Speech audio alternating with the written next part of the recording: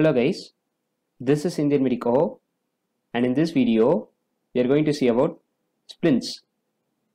This is a concise presentation for medical students. A splint is a device used for support or immobilization of a limb or the spine. Splints are basically used for immobilizing fractures. They can be used either during transportation or as definitive treatment. Now, Thomas splint is one of the commonest splints used in orthopedics.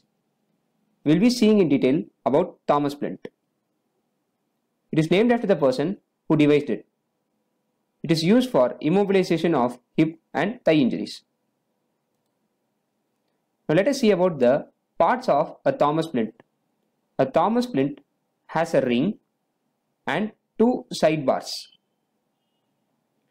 The ring and the inner sidebar are at an angle of 120 degree. The outer sidebar has a curve. This is to accommodate the greater trochanter. Remember, Thomas splint is available in different sizes as shown in this figure.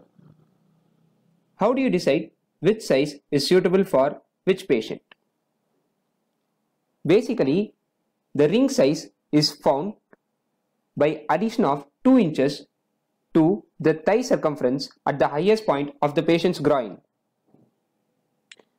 And the length of the Thomas splint is decided by measuring the highest point on the medial side of the groin up to the heel plus 6 inches.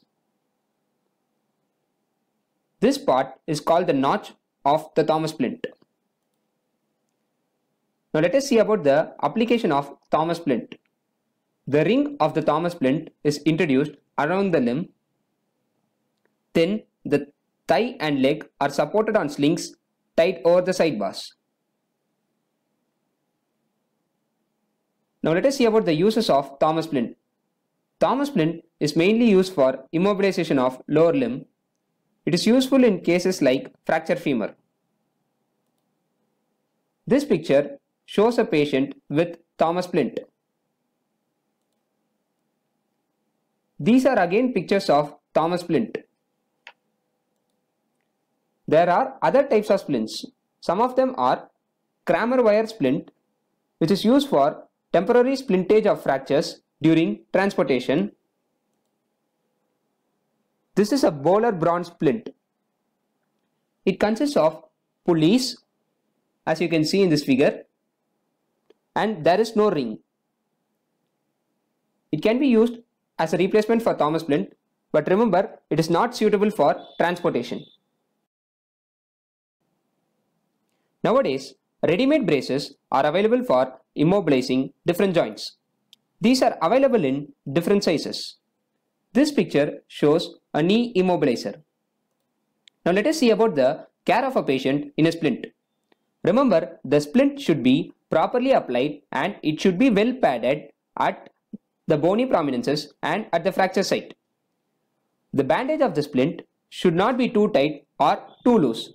If it is too tight, it may produce sores and if it is too loose, it will be ineffective.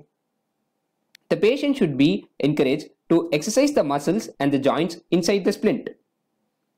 Early detection and management of neurovascular compression due to the splint is important. Daily checking and adjustments can be made to the splint if any problem is detected. Regular portable x-rays can be made use of for this purpose. If you have any suggestions, please let me know in the comment section. If you like this video, please like, share, subscribe and tell your friends about this channel. Thank you.